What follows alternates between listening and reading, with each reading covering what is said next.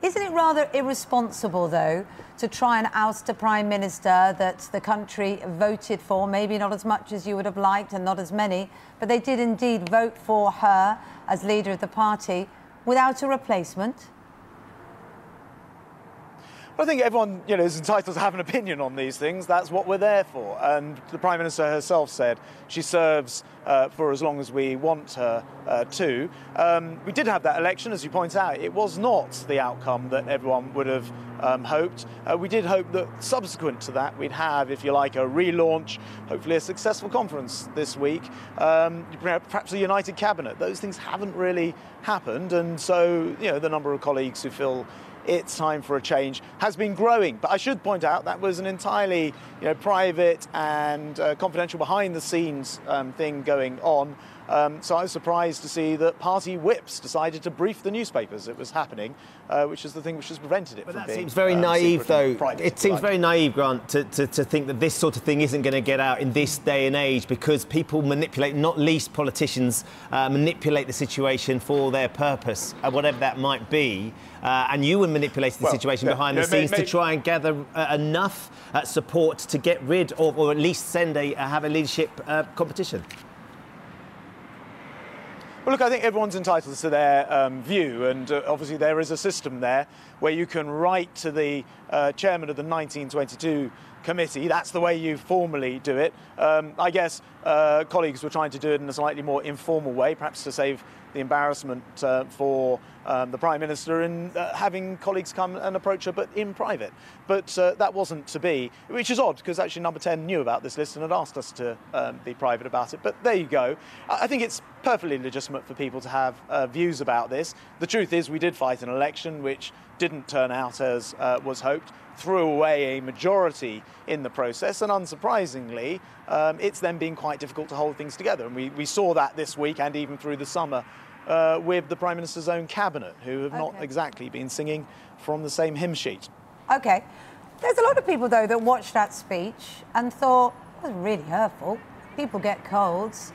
You know, it wasn't her fault that the prankster came up on stage. He got to all sorts of people, including the security. It's start, the vast majority of people who are on the list have been on the list from way before uh, whatever happened in the speech. It's not to do with the conference uh, speech in particular.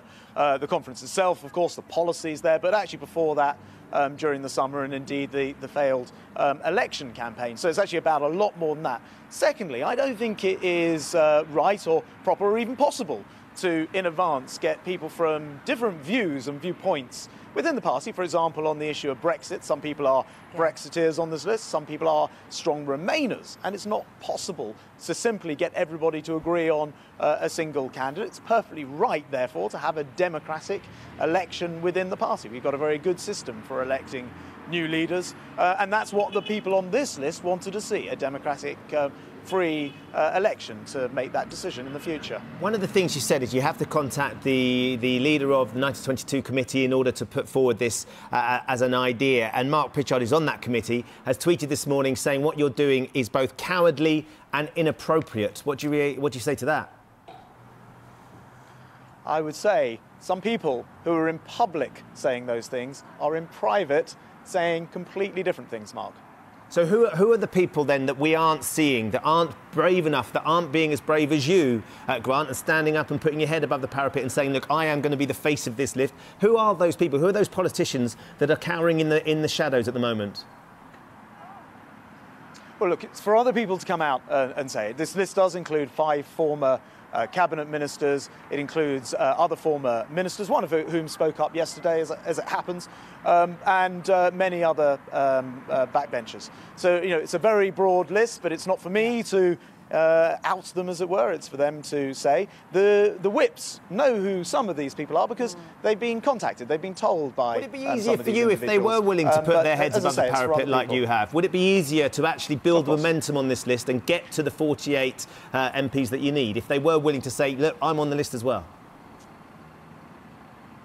Uh, probably, but uh, look, it's up to individuals, and you know, in the end, uh, people like me who haven't gone down that formal route of writing to the 1922 chairman to request a leadership election, uh, and we're hoping that we could actually have that conversation and save the embarrassment. Obviously, people like me will now uh, do that, I imagine. I certainly will. But uh, it, it's up to each individual. There's no, you know, this is not some uh, planned thing where today we'd come out and say it, as I Uh, say, you're, the, you're a very whips nice. You're a very nice man. You're a very affable, chatty man, uh, Graham. Uh, you know, you've been on the show and you're, and you're always easy to talk to. But you're playing this down as though it was a little dinner party chat where you were discussing the state of the nation. This is the prime minister. And you have said you have a list of 30 Absolutely. people who want her to go. This is a big thing. So we have to talk a little bit about details. Or do, were you look- just chucking it up? And, you know, how many names do you have? Are you close to the 48 needed? What is really going on? It feels like you're slightly trying to play it down.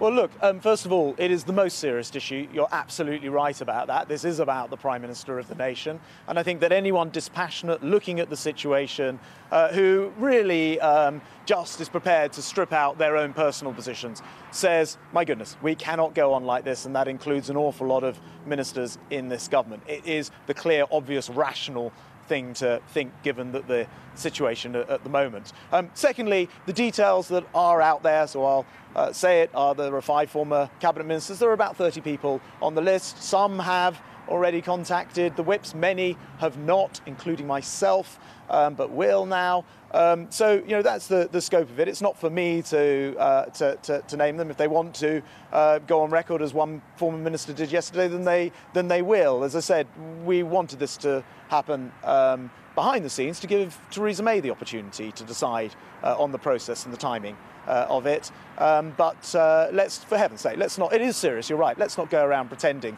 there's nothing wrong. And you'll hear plenty of interviews that pretend that this morning. Politicians notoriously don't start doing things without having a plan in mind. So, who would you like to see as the leader of the party?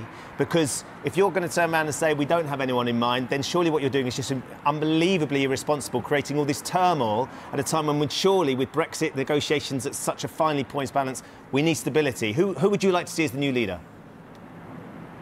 Well, for, for start, unless you've been reading different newspapers over the summer and this conference, uh, the turmoil's already there, nothing to do with, with, with this. Secondly, um, the list by its very nature is made up of a very broad cross section of the party. So there are Brexiteers, Well, let's go quite strong personal. You've said several times list. Everyone's entitled to their personal the list. views. You So- keep saying that. So, what's your personal view? Who would you personally, never mind everybody else, like to see as the next Prime Minister? Because you made it clear in your personal view it's not Theresa May.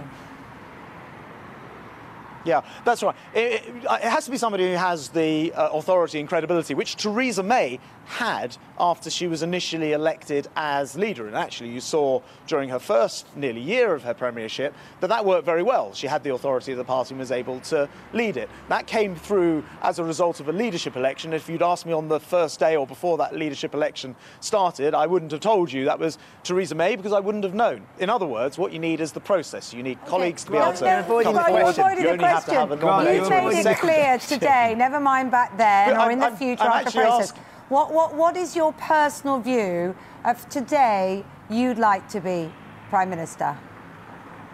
I don't.